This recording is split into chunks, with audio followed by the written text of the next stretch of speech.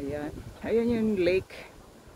Ayan yung lake guys. Kaya tinatawag this place as Jinshin Lake. Ayan.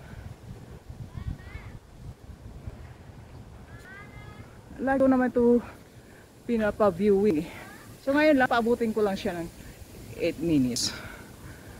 Kasi sobrang iksi naman guys. Pang premiere ko kasi eh, ang mga exercise ko dito sa park. Gawin ko siyang pang premiere. So, ayun guys, maraming ano, puno dito ng kahoy. Yan, talagang maganda dito guys. Refreshing. It has a lot of trees. Uh, everywhere has trees. Yan. Everywhere uh, planted with the trees. Oh, yun lang. 8 minutes na.